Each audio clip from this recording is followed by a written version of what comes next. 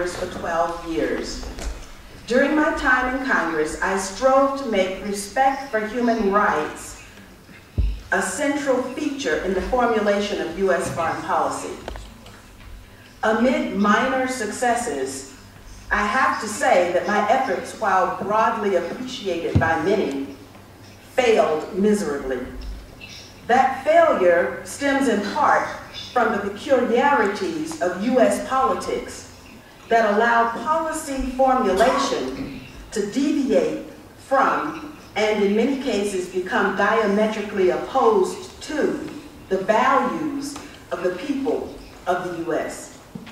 Sadly, what we in the U.S. call special interests are able to buy public policy by way of campaign contributions and misleading media campaigns.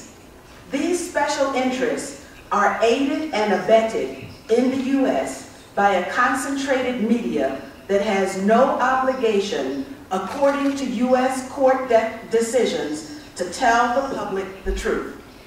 In other words, U.S. media have won in U.S. court the right to knowingly lie to the people they ostensibly serve. I will briefly delve into this unusual and anti-democratic state of affairs now controlling in the U.S. once again before I conclude my remarks. After my tenure in Congress, I became involved in international human rights activism. During Israel's Operation Cast Lead, which was its war against Hamas and others, I joined with a group of human rights activists who tried to deliver medical supplies to the people of Gaza.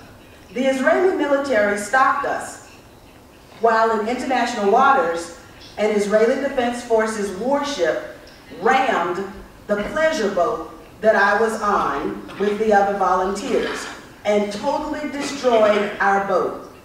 Neither the medical supplies nor us volunteers reached Gaza. Approximately six months later, we, the volunteers from the first thwarted effort, reassembled in order to make another attempt to reach Gaza by sea, traveling through international waters with the hopes of entering into Palestine by way of Gaza's territorial waters. By this time, Operation Cast Lead had ended. President Barack Obama had been sworn in, and he had appealed publicly for an easing of the Israeli blockade of Gaza. Gazans had made an appeal for school supplies for the children still reeling from the trauma of three weeks of what the United Nations called, quote, one of the most violent episodes in the recent history of the Palestinian territory. So some of us answered that call with school supplies for the children and building supplies for the adults so that Gaza could rebuild from the devastation after Operation Cast Lead. On this effort to answer a humanitarian call for help, I, along with 20 other volunteers, was kidnapped by the Israeli military while in international waters. Our boat was seized. We were taken by an extremely circuitous route to Israel, where we never intended to go, and I was incarcerated in an Israeli prison for seven days. Sadly, what I witnessed while in Israeli prison pointed to Israel as an apartheid state and the gross mistreatment of particularly Ethiopian women who have been lured to the Holy Land for job opportunities that vaporized because they were not of the correct religion. Mm-hmm. In addition to that, my observation at the time was that Ethiopian Jews are used as an important pillar, even enforcer, ironically, of Israeli apartheid. I can expand on this aspect of my observations later if there are specific questions or requests for more information from this body or from individuals in attendance at this conference. Needless to say, for a second time, I was prevented from entering Gaza. Upon hearing of my ordeal, Member of Parliament George Galloway, who was in Cairo leading Viva Palestina USA, contacted me and invited me to come to Cairo and enter Gaza by land, which I did. Upon entering Gaza, I was able to see the destruction inflicted on the people by Israel's Operation Cast Lead. I scooped up a bit of soil and put it in this container.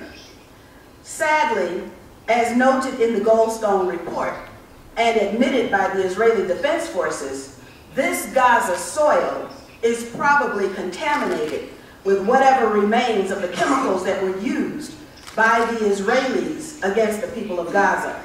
Chemicals ranging from white phosphorus to inert metals.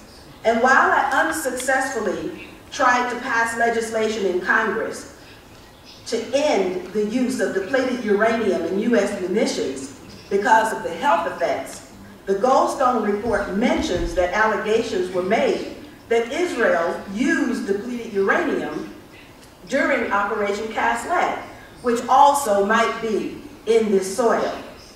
The United Nations Division for Palestinian Rights is also aware that civilian targets were bombed and totally destroyed. I visited a few of those targets. One stop on my private tour of destruction in Gaza was the American International School. And amid the rubble, I spotted a bright yellow something that I couldn't quite make out what it was. So I climbed through the jutted shards of concrete and exposed rebar to retrieve the object. It was this children's art book stamped with the initials of the American International School in Gaza. Also, I was standing in what was left of the school's library. Another stop on my tour of the effects of Israel's Operation Cast Lead was a neighborhood school, not nearly as big and grand as the American school. There I could see the path of one missile that blew a hole clear through several walls of the school. There were markings on the chalkboard, including the Star of David. I saw several cans of peanuts on the floor. This is one of them. It is written in Hebrew. The Israeli soldiers blew up the school and then sat down in its ruins and enjoyed a can of peanuts while they drew religious and political markings on the chalkboard. Both boats that I was on were seized by the Israelis and destroyed by them. The humanitarian aid on the boats did not reach Gaza, and only token aid was delivered by the land convoy to the Al-Shifa hospital in Gaza. The bulk of it stranded in Egypt, not allowed into Gaza by the Egyptians or the Israelis. What is amazing is not only that this happens over and over again, but that Israeli leaders who commit war crimes and crimes against humanity leave office and are never held accountable for their policies, as was done by the victims of, of Augusto Pinochet and is, as is being done currently by the International Criminal Court. Another aspect of this impunity is that Israel continues to receive U.S. weapons and technology which it uses against civilians in contravention of U.S. law. As these weapons are used or become outdated, the U.S. replenishes Israel's weapons stock every year. One measure of this impunity is brought to bear by the pro-Israel lobby that operates in the political sphere of the U.S. I am a former member of Congress because pro-Israel sympathizers known as the pro-Israel lobby, ensured my ouster from Congress and that of many other members of Congress who dared to try and draw attention to U.S. law, Israel's human rights violations, Israel's misuse of U.S. weapons, or any other inconvenient facts that were better buried and left unknown. What many of you might not know, because these things just aren't discussed as widely as they should be, is that many of those members of Congress who were put out of office by the pro-Israel lobby were the stolen children of Africa, descendants of Africans trafficked in the transatlantic slave trade. I will call the names of a few and tell you where you can find information about them as they tell their own stories. Gus Savage, member of Congress from Chicago, Illinois, was targeted for defeat by the pro-Israel lobby because he dared to engage in foreign relations within the purview of a member of Congress on the African continent, in Egypt, among other places. He recounted his ordeal on the floor of the House of Representatives and revealed the secrets of the pro-Israel lobby on the congressional record, where students and others interested in this topic can find his words today. Earl Hilliard, member of Congress from Birmingham, Alabama, was the first black member of Congress to serve the people of Alabama since the U.S. Civil War's Reconstruction era. He was ejected from the Congress by the pro-Israel lobby because he, like Gus Savage, traveled to Africa, and in particular, to Libya. He also traveled to Lebanon and learned of new weapons for that time that had been used there by Israel. For this transgression, Earl Hilliard had to go. He is interviewed in a Dutch documentary that is available on YouTube. He describes the vicious campaign that was run against him by the pro-Israel lobby. And then there's me. Just this month, I published a book entitled Ain't Nothing Like Freedom, in which I describe just a few of the tactics that were used against me by the pro-Israel lobby to destroy my career in Congress. These three political takedowns were very publicly done in order to send a message to others who also might be inclined to speak up out of moral conviction, as Savage, Hilliard, and I did. This weeding out also occurs on the local level with state and local elected officials like my father and others targeted for defeat because of the potential threat to the interests of the pro-Israel lobby that they pose. In addition, on a public and private level, targeted individuals have to endure soft repression that makes life difficult. All of this needs to be put on the record if one is to fully understand the power of the pro-Israel lobby and the pall that it casts on the political process in the U.S. and from what I have been told, also in Europe.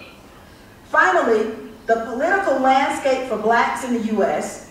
is negatively affected by this weeding out process because the strongest and most outspoken, authentic leaders are vulnerable to challenges from candidates that are well-funded by outside special interests. In light of this, I would like to put this thought to you. Can you even imagine what U.S. policy would be like at the United Nations if the will of the people were carried out without the interference of the pro-Israel lobby? The Durban World Conference Against Racism was a watershed that could be revisited time and time again with U.S. support and participation, except that powerful lobbies want otherwise. I know it's hard to imagine things differently, but it is not hard for me, and that is one vision that keeps me going. U.S. policy made in the image of the values of the people of the U.S. At a conference whose theme is African solidarity with the Palestinian people, I thought it was important to mention not only how the pro-Israel lobby skews politics in the U.S. against the Palestinians, but also against African descendants inside the U.S. I focus on this important aspect of policymaking by focusing on who gets to make the policy, because I believe that this is one key reason why Palestinians are forced to suffer, while at best platitudes and delay serve as the effective policies of the US and European countries.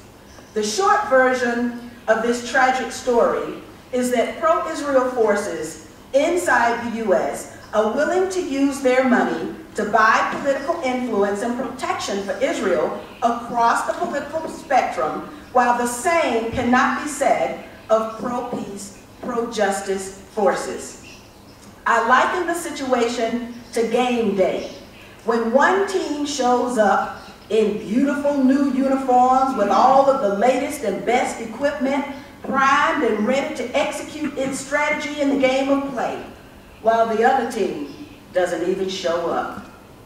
I believe that one remaining untested justice frontier is the political battleground in the U.S. and European capitals. It is inside these essential capitals that pro-Israel lobbies have become comfortable and, and operating with very little opposition from the other side. I'm tired of losing when I believe we really don't have to lose. I fundamentally believe that the people of this world are good and want peace. I have spoken to Afghanis and Pakistanis, to Yemenis, and to Somalis, Palestinians, and Americans and I find them to be peace-loving peoples. So how do we move from where we are to where we need to be? That is the fundamental question. I focus on the political because the political creates the legal, and the political creates impunity.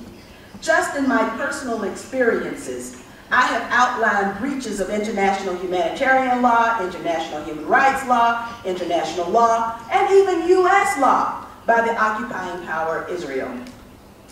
I served as a juror on the Bertrand Russell Tribunal on Palestine that recently concluded its session with a finding that both the US and Europe are guilty of contributing to the atmosphere of impunity with which apartheid Israel carries out its policies against Palestinians and anyone who stands in its way.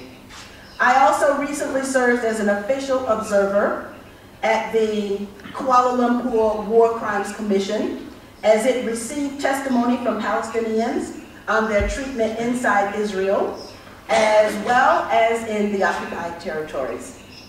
Through my service with both of these organizations, I have met too many courageous Palestinians and Israelis who want to live peacefully with each other and who put their lives and their livelihoods on the line every day for peace and the rule of law.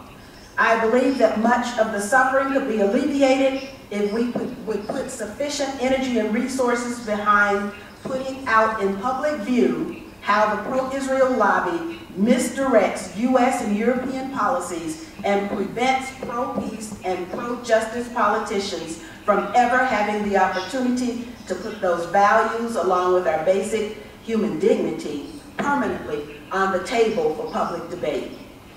Finally, I'm not Palestinian, I'm not Arab, I'm not Muslim, but I am human.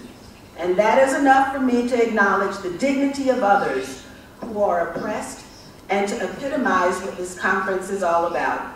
African solidarity with the Palestinian people for the achievement of its inalienable rights, including the sovereignty and independence of the state of Palestine. Thank you.